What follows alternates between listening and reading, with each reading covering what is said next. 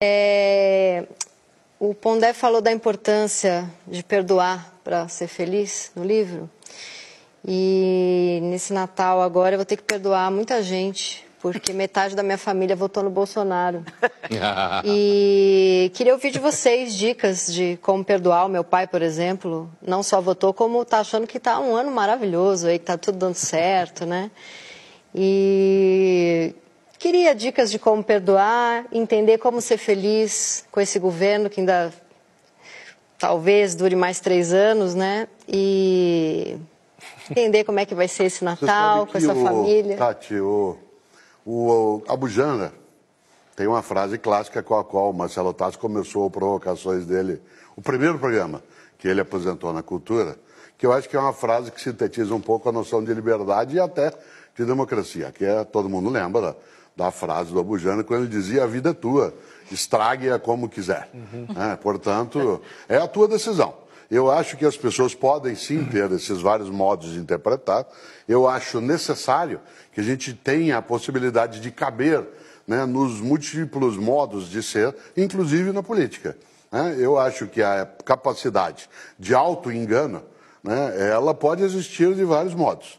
Nesse sentido, uma pessoa que tenha mais consciência em relação àquilo que está vivendo, não é porque ela está certa. Eu não desejo estar o tempo todo certo em relação àquilo que imaginava que poderia acontecer. Em vários momentos eu gostaria e gosto de estar equivocado, porque aquilo que eu pensava era negativo e ele poderia vir a sê-lo. Mas não necessariamente o contrário. Não é uma questão de clara evidência. Quando você fala perdoar ou não pessoas à tua volta, acho que fará bem a você né, se você o fizer, mas não as pessoas que não querem ser perdoadas. E as pessoas que não querem ser perdoadas porque elas entendem que elas não fizeram nada. E como é que você vai perdoá-las? Talvez ela até te diga, né, de modo politicamente incorreto, que você está sendo preconceituosa. Você vai me perdoar de quê? Qual é a minha falta? Né? Qual é a minha deficiência? Qual foi meu pecado para que Tati Bernardi venha e diga eu te perdoo? né? E você pode se arriscar ainda levar um tapa. que é mais do que incorreto e não é só politicamente. Não sei, né? Ele está tão fã do Bolsonaro que pode Mas, ser que eu leve um tapa. ele aqui no programa. Para entrevistar a gente. Né? Mas eu acho, Tati, que é o exercício do perdão, que é uma proposta de muitas religiões, ele é também um exercício de poder. Se eu preciso perdoar, pertence a mim o poder, o munus, a potência, e você está numa posição inferior que merece o perdão. Claro que seu pai pode estar em casa pensando, como eu vou perdoar a Tati? Por estar tá me expondo Por no estar tá programa. me expondo ou porque votou em outro que eu não veria. Uhum. Sempre alguém está bem com um governo. Quer dizer, não há Luís XIV que não satisfaça pelo menos uma parte de Versailles. Isso é um princípio. sempre haverá alguém bem. Então, seu pai tem razão. Está um ano maravilhoso, talvez na experiência dele. Talvez na experiência dele. Não, pode não estar para outras pessoas. Mas acho que eu pensaria mais assim como seu personal coach agora. Sim. Assim, Acaba de ser contratado. E se vocês vão se encontrar para o Natal, Bolsonaro não é o melhor tema para a família, ah, família se reunir. Talvez, sair. e se não há um outro tema, a culpa não é da política. não é a política que está provocando esse enfrentamento. Olha, eu falei isso e eu não estava pensando em política quando falei isso. Eu tenho um entendimento de política muito distante de qualquer idealização. Eu não acho que ninguém está plenamente certo em política nenhuma. E eu tenho um entendimento um pouco mais, grosso modo, um pouco mais aristotélico. Eu entendo que política é a arte de você conseguir conviver com quem você não concorda com quem você não gosta e com quem você gostaria que não existisse.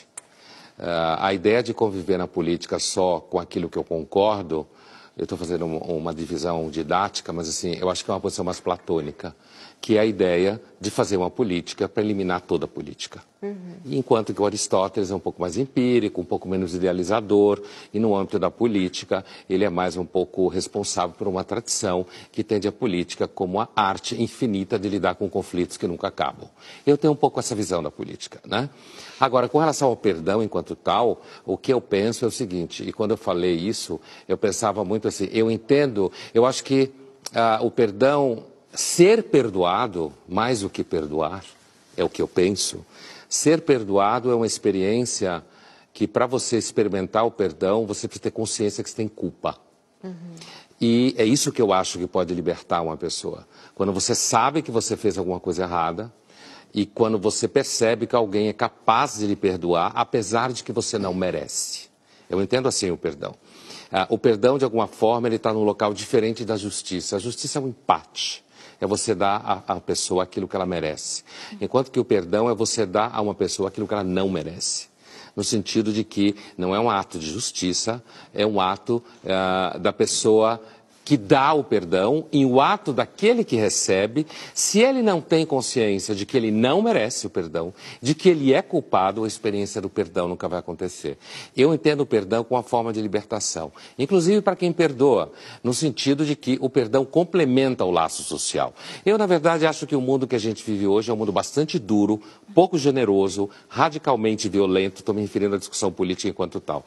E uh, acho também que onde há idealização de mundo e de pessoas, não há misericórdia, porque onde há idealização só tem pessoas legais. Uhum. Então, quando eu falei do perdão no livro, assim como eu falei da, da, da, generosidade, por exemplo, da misericórdia, foi nesse sentido. Eu acho que é uma experiência libertadora, a experiência de eu perceber que eu de fato fiz mal a você e que você foi capaz de dizer para mim que está tudo bem, vamos para frente. Eu acho que isso deixa as pessoas felizes, sim.